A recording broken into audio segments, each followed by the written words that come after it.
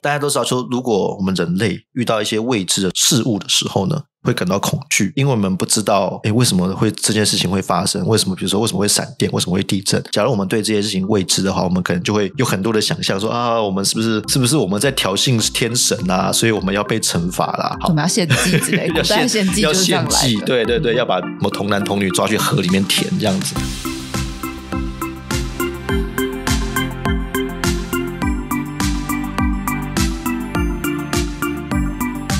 家好，我是卧草的萌萌，我是雪莉，欢迎收听《民房关我什么事》，带你关心民房大小事。哎，卧草最近出了新版的民房手册《积极行动指南》，那今天这一集呢，就一来聊聊这本手册吧。哎，我想最近哈，如果有关心卧草各社群平台的朋友，应该都有发现，我们最近又做了一本新的民房手册，叫做《积极行动指南》，跟我们上一本比，因为我们上一年算是二零二二年初出的嘛，大概隔了快两年，那。其实我们这本已经筹备了快一年的时间了，我们有成功的把一些原本没有加进去的内容加进去。原本为什么有哪些内容没有加进去呢？可能等一下可以问一下雪莉。那这次他让我们加进去了，耶。这本不一样的手册，其实必须承认，我们第一本出的时候，那个时候考量很多的这国内外情境，因为二零二二年初那个时候其实也还没有发生俄罗斯入侵乌克兰的那个战争嘛。那所以那时候我们就想说，哎，好像虽然其实我们背后第一本手册想要讲就是大家如果面对战争的情境该怎么做，但是又怕说直接提。战争好像太敏感，大家会觉得就是你们怎么卧槽，是不是在挑衅？怎么在讲这个题目是要引战？所以我们其实一开始还是比较用一些呃防灾灾防，就面对你天灾人祸的时候，你可能要先做好一些准备。那只是战争是一种某种特别的复合型灾难，用那样的脉络去做我们第一本手册。但是后来呢，很多国内外的朋友哦，看到我们第一本手册之后，就觉得我们东西做的很好。可是呢，我们好像可以更直接一点去面对说台湾面临可能的战争，该做好哪些准备？或者是做第一本。的时候可能觉得直接讲战争太哈口了，太敏感、太直接的时候，那个气氛可能还不对。对，结果出了之后就发生了很多事情。你这样讲的好像我们出了造成战争，不是不是不是不是，没有没有郑重的澄清。对 对，没有人是社会社会气氛发生了一些变化。对对对对，所以我们就开始把说，哎，可以考虑把放到手册里面。原本想说啊，不适合太哈口、太强烈的东西，我们就这一次就把成功加进来。所以就是这个内容上面也增加了非常丰富，据说页数也膨胀了不少。对对，差不多来到了七。七十页这样，上一本是四十，所以其实是将近两倍的。Double 对，哎，那上一本是公民行动指南，这本是积极行动指南，那所以两者之间是有种续集的感觉吗？或者是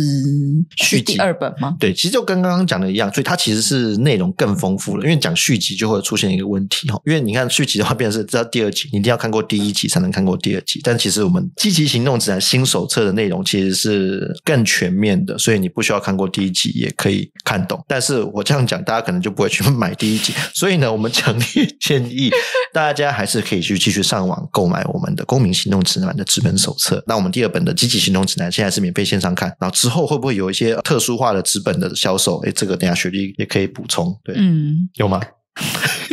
不是干嘛破我梗啊？好，没关系。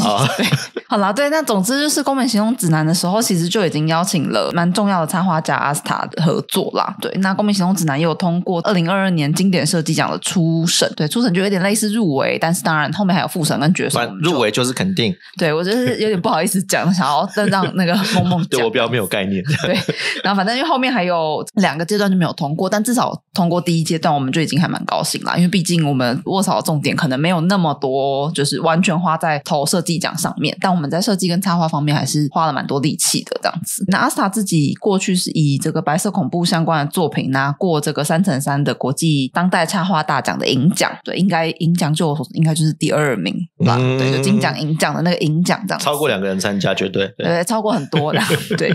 好，所以就是这个插画家本身也蛮厉害的，然后他基本上也是很关心相关的议题的插画家这那这一次的经济。行动指南也由他操刀画了非常多精彩的内容。对，其实我们第一次那个第一本发公民行动指南，那个时候有得到一些意外的 feedback，都是什么跨年龄层的人都非常喜欢看，然后很多是小朋友，就是有点像说，其实他大家可能对内容不一定有那样了解，但因为我们的插图其实都很吸引人，可以让大家其实你可能文字不是那么理解，你都可以很快翻一翻就进入状况，有些小朋友也都很喜欢。这次当然也是啊，其实我们也希望就是说用一些比较简单，就是插图啊，很多图表的方式，让任何年龄层的人都可以很快的读懂说我们到底想要传达什么样的概念。所以这次积极行动指南也是想请这个阿斯塔画，或者是软性表达一些哈口的东西，对对对对，不要有一种呃大家想象中的刻板印象的感觉，那可能比较软一点，然后比较有趣、生动。对，而且重点也是说，我们也是 consult 很多的专家，在内容千万不能出错的情况之下，用一般人能够听得懂的方式去传达这种各种关于民房的概念。而且我觉得这次其实我们也蛮高兴的，就是因为有很多这个国外的朋友。也都非常关注我们的这次的作品嘛。我们第一集出了之后，他们非常鼓励我们这个出第二本。然后，所以呢，我们第二本这个一上线啊，我们就会把我们寄这个线上可以线上看的链接给他们看。他们就提到说：“哦，真的是他们认为这是一个艺术品，你千万要印出来。他就算看不懂中文，他也要就印出来当做一个摆设。就算大家看不懂，你们也可以跟我们买纸本。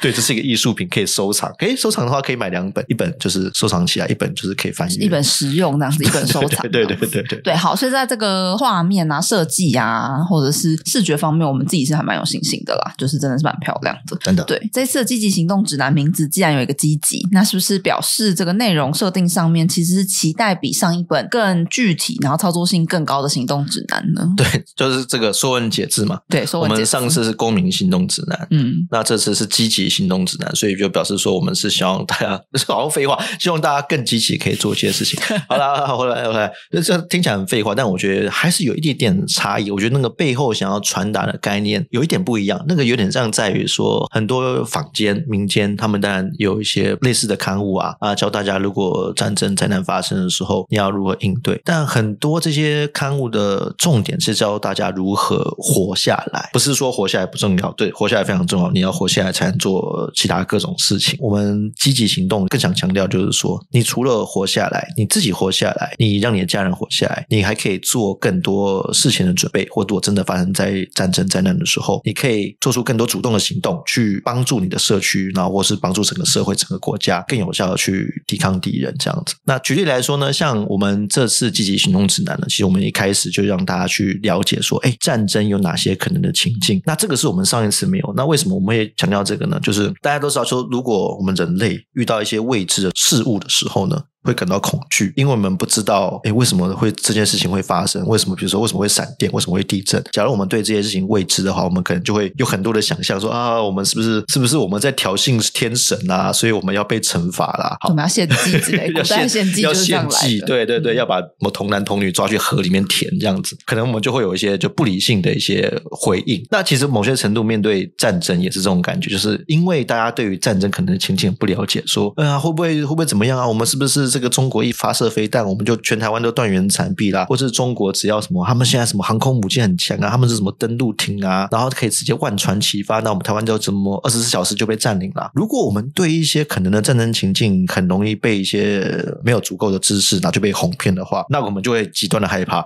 到时候我们就献祭嘛，那我们拿什么献祭？我们就拿我们台湾的民主自由、我们的主权去献祭，因为我们怕被惩罚，所以我们就这样去牺牲。但是其实不需要这么多，我们可以如果知道说啊，比如说天灾、地震、台风有它的原理，那战争一样有它相关的知识可以学习。那如果我们了解可能的战争情境，我们就可以知道说哦，我们事先可以做好哪些准备。所以当然我们的手册有跟大家讲到说，哎，你有可能要做什么物资上的准备啊，然后你可能要做什么技能上的准备啊，你可以怎么先自我训练啊等等。那这样的话，哎，你可能知道有些应对方式。面对一些，你看中国在我们旁边一种天灾嘛，面对一些灾难可能的应对方式，你就算没有办法阻止灾难的发生，但你可以透过提前准备，减少伤害，你不那么害怕，你就不会动不动就把台湾的民主自由拿出来献祭这样子。嗯，所以如果以结论来说，就是知道如何面对中国在旁边这样子的天灾，就比较不容易乱拿台湾的民主自由去献祭的。对对，就是大家可能平常觉得战争很离我很远，所以不太愿意去了解。或是又觉得说好像是一个很困难的事情，所以我们希望这本机器行动指南就是告诉大家说，没有没有哦，你其实大家都可以做一些什么事情，改变一些这个想法，那你就可以更能够参与保卫台湾，并不是什么都不能做的。内容听起来很丰富，也蛮专业的。那在制作上面呢，就是因为谈这些战争啊、准备等等的，听起来是蛮难的题目。那有遇到什么样的困难，或者是有什么想跟大家分享的吗？纯粹就内容制作本身，其实因为我们其实这已经做第二本嘛，我们之前做公民行动指南，那加上那时候很多没放进去的东西，这次再加到我们的积极行动指南里面。必须说，因为这一年多来，那因为国内外局势的关系，哎，所以政府确实有做一些改变。但我们让我们最困扰的就是说，这个政府做改变的时候，也许你会发现，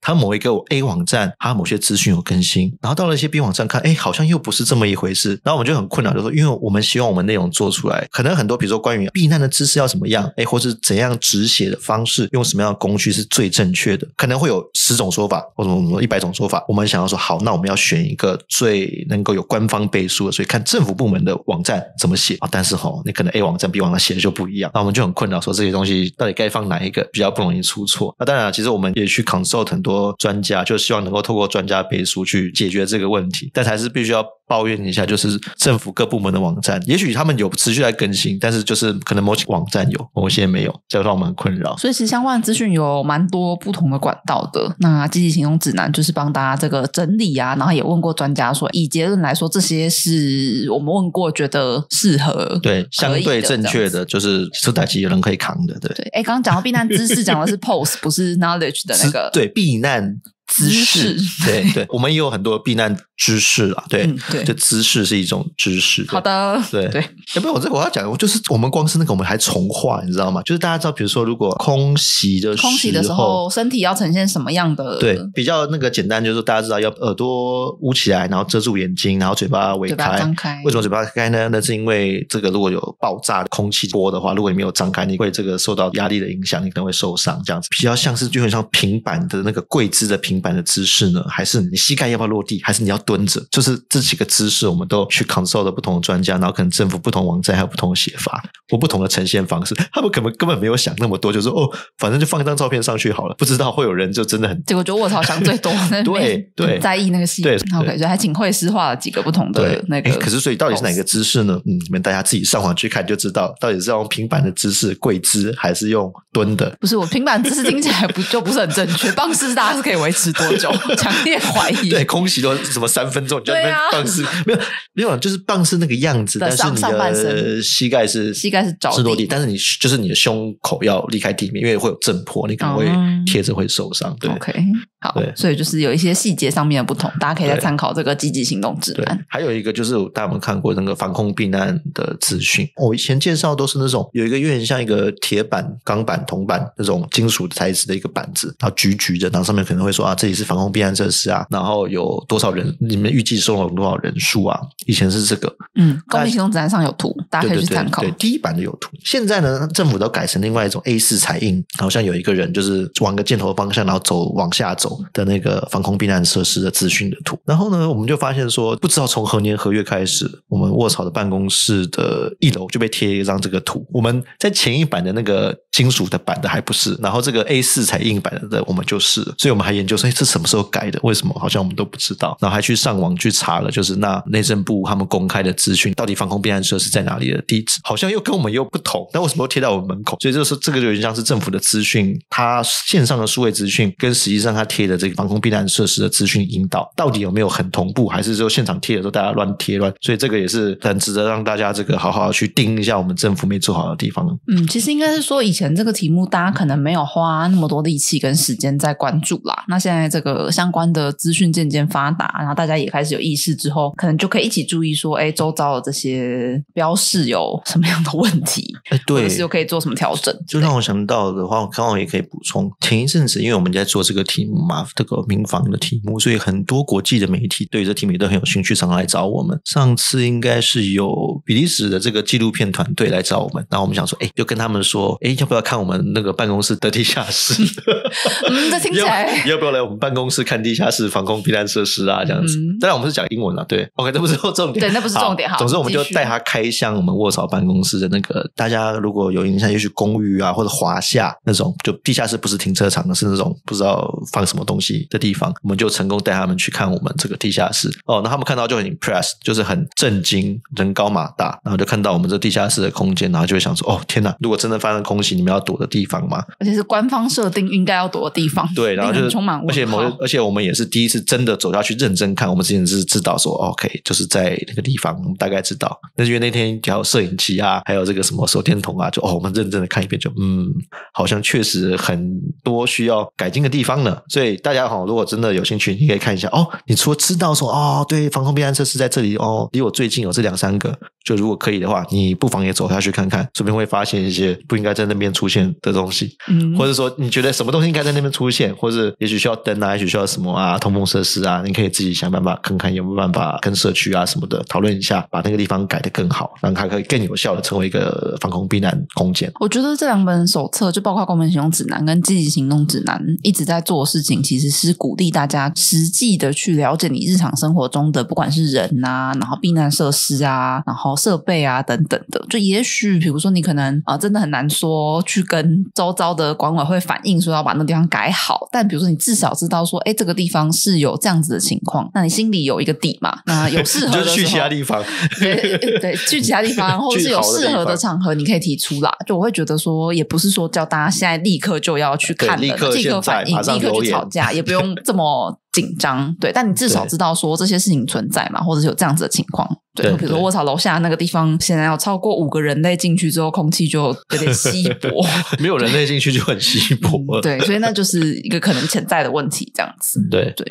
好，那你刚刚前面有提到说，哎，在这些啊讨论避难的姿势跟知识的时候，有询问了不同的顾问嘛？真的，那因为有看到，比如说马世元啊、苏子元。两位老师都当了顾问，急救单元里面也有跟安妮或者是壮阔台湾、跟杨显清心理师等等的单位合作这样子。所以卧槽在民防这个议题上面，目前的自我期待是比较类似民防的媒体整合资讯这样子的定位吗？我觉得我们最想要做的，就是有很多的 NGO、很多的团体，其实都默默的在做很多关于宣传民防相关的资讯。那其实很多相关的知识，真的在网络上也都是免费的资源。很可惜的是，哎，有些可能只看到一部分，那有。有些人可能看到关于急救的，有些人可能关于止血的，有些人关于比较说呃心理层面的内容。我们是希望说把这些资源都能够整合起来，让该看见的东西被更多人看到。就是我们每次都在讲这个整体社会的韧性嘛。我们自己有点像是做一个平台，广结善缘。就是大家如果愿意的话，哎，我们互相把这些资源共享。所以，我们这次也是线上免费的。比如说，你看到我们手册中，哎，有关于止血的内容，那你可能说，哎哎，我这样子看图像，只看文字，可能没有很清楚。我们旁边有一些 QR code。连接，你就可以去看。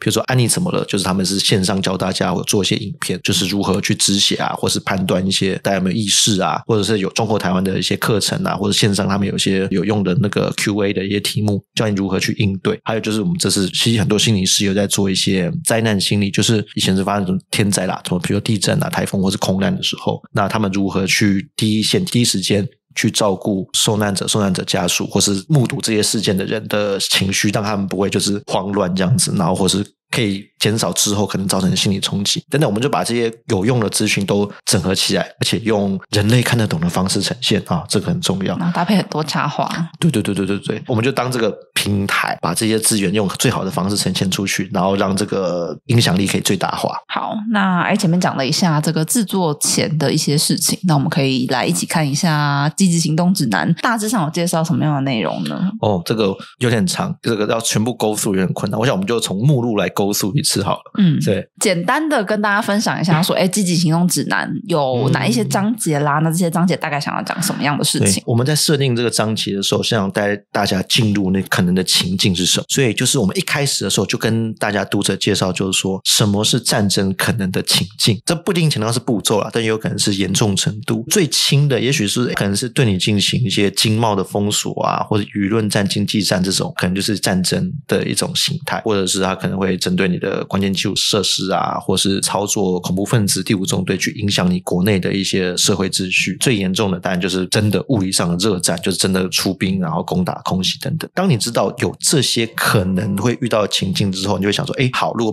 碰到这些可能情境，我可以怎么应对？第一层的应对的话，就是。真的如果战场发生在你周边的时候，你可以怎么做？我们有些简单的准则跟大家讲说，哎，什么东西不要做，什么东西不要做，你可以有效的活下来。比如说有个很重要的东西，就是之前我们肯定有提过，就是你不要穿军事风格的服装。为什么？因为你如果穿军事风格的服装，你可能对于敌人或对我方的军队而言，看起来都是一个不是自己的军人，所以你可能会被攻击，或者在路边不要随便捡枪。一个是他可能是捡的会爆炸，就是他可能是假的那种鬼雷会爆炸让你受伤的地雷，或者是你捡了之后你拿了那个枪之后你要干嘛？一样你可能会被敌人或者我方的军队认为说你是不知道哪来的持枪的分子，或者是你可能把自己弄受伤。对，或对对对对，你没有用过没有用过的人，或是让自己的亲朋好友的背部受伤 的背部。对对对对，小心让你大家都在第一线第一时间你要怎么样活下来，不要死掉，这是刚很重要的嘛。虽然这不是唯一的事情，但是这很重要。你要如何自救活下来？那再来就提到就是说，哎，如果是因为有可能的战争情境发生，你应该要做好哪些事情的准备呢？所以我们就教大家一些如何准备物资啊，比如说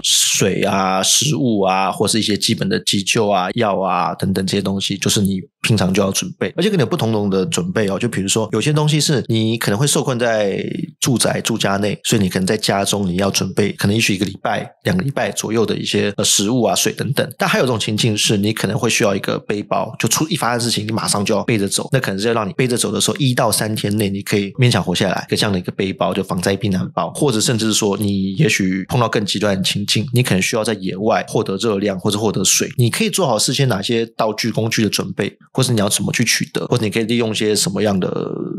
方式可以得到足够的热量和水，教你可以怎么活下来的方式。那在更严重的情境是什么？如果你真的不幸你受伤了，那这样比如说也许有东西坍塌，或者真的有流弹波及，让你失血受伤，那你要怎么样帮别人的话，是你要如何评估家人的伤势？你要如何帮忙止血，或者是说你要怎么判断怎么怎样会有生命危险？那还有就移动病患啊、包扎等等，这都是一个我们就大概做一些简单的图像的方式介绍。还有一个很重要，我们是这次也要放进去，就是我们之前也常提到，就是如果碰到灾难碰到战争的这个心理冲击，你要如何去排解这个样的心理冲击，帮自己、帮别人去解决这样的问题，让你能够有效的在高压的环境中活下来。前面这几趴呢，都比较像是说，当你能够让自己活下来的时候，你让自己活下来，你让你身边的人能够活下来，我们还可以做积极更多事情。比如说什么呢？你可以加入抵抗行列，但这个加入抵抗行列不是说就是每个人都要拿刀拿枪上前线杀敌这样子，当然可以选择这么做。那你可以加入军队，你也可以用很多的方式加入这个所谓就像抗敌小帮手。比如说你有网络，你有资讯能力，你。会善于使用社群媒体，你可以用你的方式在国际上，就像我们就反着这个网络上的的资讯作战一样，我们去宣扬说台湾人的抗敌啊，敌人有做一些什么违反人道的事情啊，然后要去这个增加舆论压力，或者是说，其实像现在那个国防部，我记得他们就开始做一些相关的培训，还有一些计划，训练一些叫什么无人机，这个词叫飞手，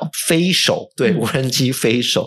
就比如说，哎，你有一些技能，他可能可以在战争的时候派上用场，你可以协助去做侦查。但不是说你没事就是说，哎，我没事，我也去帮忙侦查一下。没有，就是还是要配合整个政府，他们也许需要征召某些特殊能力的人，比如像会开怪手，你可以去帮忙建立路障等等等的。那当然还有其他非武装的公民抵抗，比如说，如果真的碰到类似你在被占领的区域的话，哎，你可以参与罢工啊，或是罢市啊等等的方式，你都是可以增加敌人统治的成本，来让我军能够更有效的去打赢这场战争。最后，其实我们还要强调一件事情，就是很多事情其实是你现在就可以做的。当然，这很笼统啊。现在可以做些什么？比如说，第一个说可以做的事情就是上网搜寻积极行动指南。好了，告诉大家就是说，你可以可以学习相关知识嘛。你先就做好那个避难物资的准备嘛。那当然再多一点呢，你可以做一些体能训练。这体能训练也不用太严重，想说每个人都要就练的这都是这个肌肉很大，就是一些让你有足够的体能。可以想象，就有点像登山的情景，可以负重的。背一个可能十公斤左右的背包的情况下，哎，你还是可以做一个半天一天的这个户外移动，或是一些简单的急救啊、防卫技能，这也都是现在就可以参与学习的。还有就是认识你的社区啦，就刚刚提到的认识，比如说防空避难设施啊，或者你家附近的防灾公园啊等等。各个社区这个应该是警察部门嘛，他们其实都会在征民防的那种团队。那现在大家很多人说啊，民防团队不都是些老先生老太太，他们看起来最需要被保护的，没错。所以就请我们这个年轻。的朋友一起加入他们，保护他们哦。我们真的有同事就已经去加入民防团队，他就是里面应该是最年轻的嘛，他就说他要说第二年轻，第二年轻呃另外一个看起来是被爸爸拖来的，对对对，并 他说他说里面都是阿贝，我说哦，那你你是不是也是阿？别人看你是不是也是阿贝？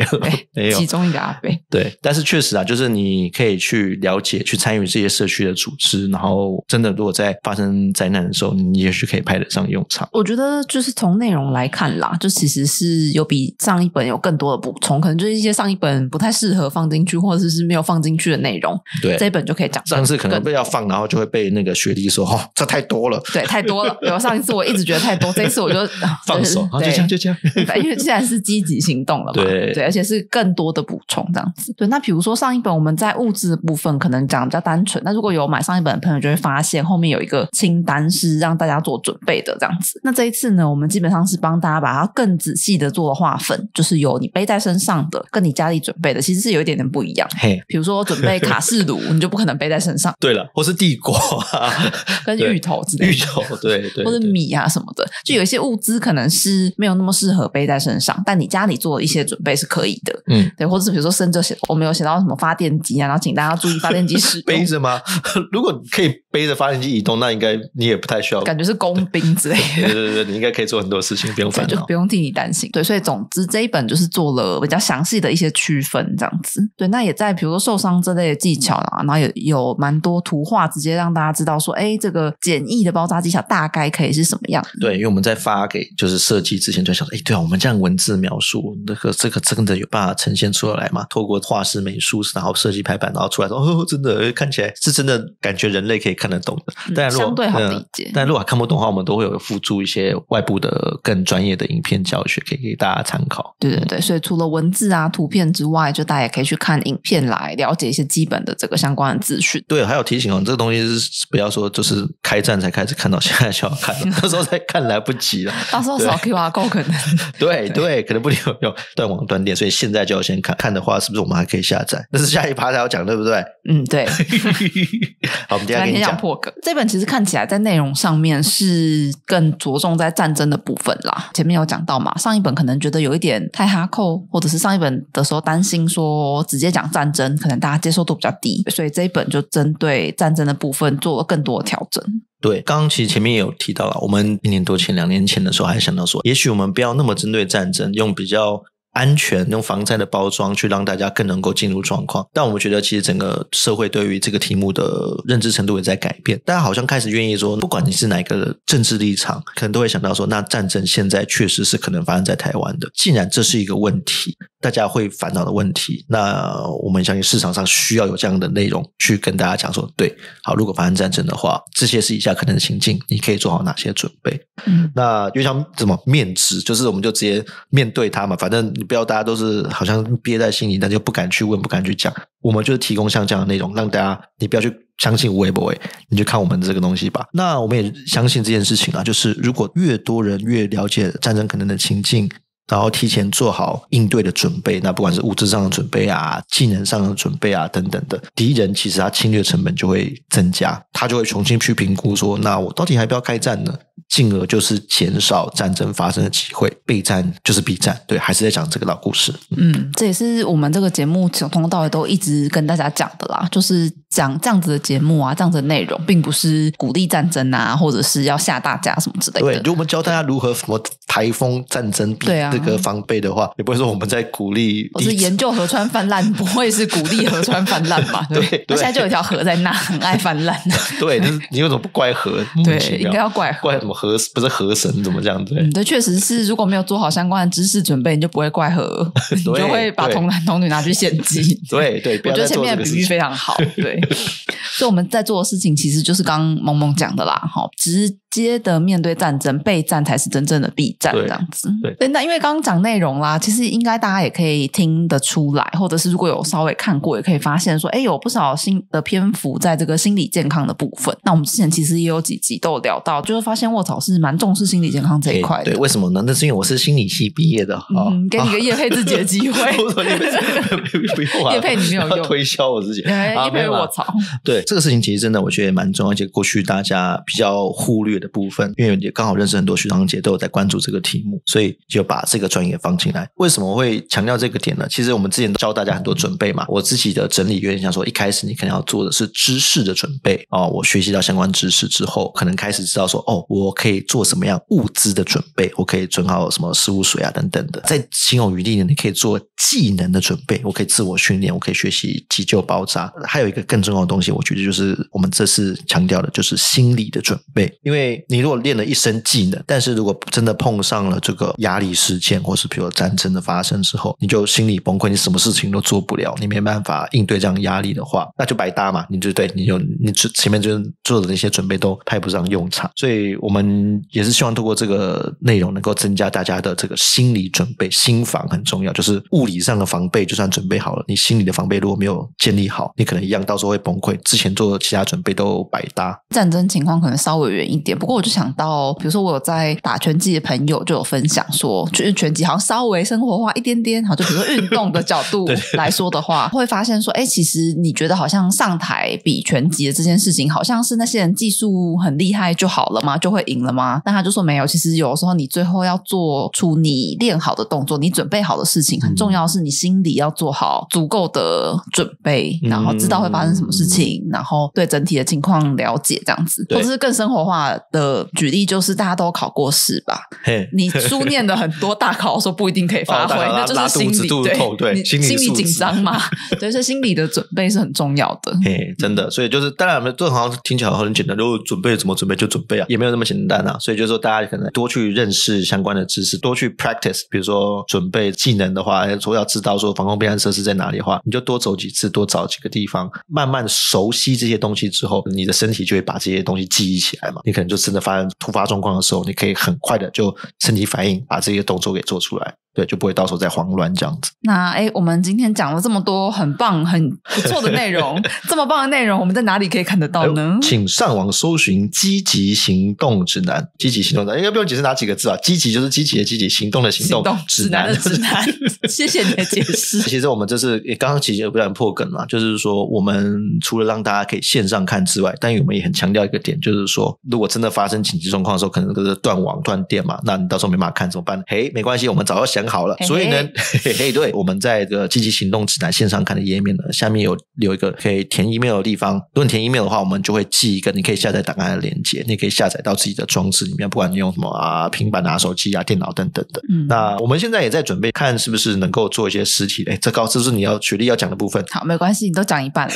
不过我刚刚补充一下，就是 email 下载的部分啊，大家都知道，有时候这个跟大家用的装置有关系啦，所以可能有时候你如果发现没有下载到，找不到附件，就去垃圾邮件搜一搜，有时候就是会被滤掉。然后我们已经尽力处理了。对对，那刚刚萌萌讲到说，哎，实体的部分，那因为比如说电脑上面有嘛，但大家可能会觉得说，哎，有实体手册还是比较安心。对，而且听说就像个艺术品一样的精美。嗯，对，没错。是吗？我不知道。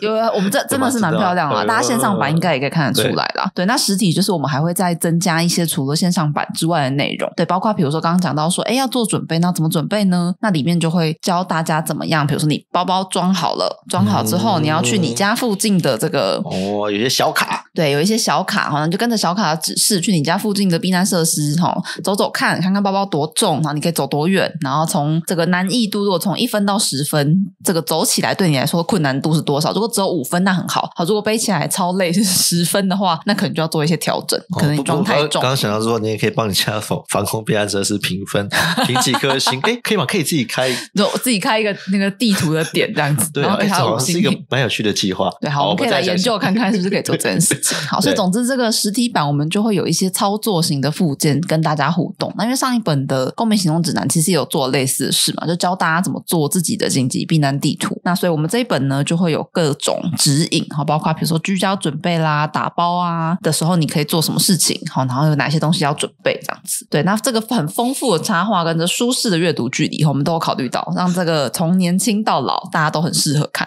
然后我有实体测试过这个，要给家里的长辈看，对对对，把就回回回回也要看得到啊，哎不然就没有用了哈。对对对，对吧？就回回的长辈也是看得到的哈，所以基本上呢，就如果有填写这个 email 下载的朋友，接下来我们开预购的时候，就会优先把预购相关的资讯寄给你，这样子好。所以建议大家如果有兴趣的话呢，可以先免费线上看，留下你的 email，然后很快就会收到这个预购的通知喽。那我们应该预计这个十二月中左右就会开始预购了。对，开始预购，OK，还可以，对，还没有那印刷，现在好紧张哦，好，十二月中，十二月中，嗯紧张紧张，对，好，所以今天我们就是介绍积极行动指南的大致上的内容，这样子。那有兴趣看的朋友，可以在线上搜寻，再说一次，积极行动指南。对，积极行动指南，那相关链接我们也会放在这个下方的资讯栏，对，下方嘛，对，大家可以点这个链接哦，对，所以听到的时候也可以直接点进去了。这个链接，哎，没错没错，好，好，那今天的节目就到这里喽，好，感谢大家，拜拜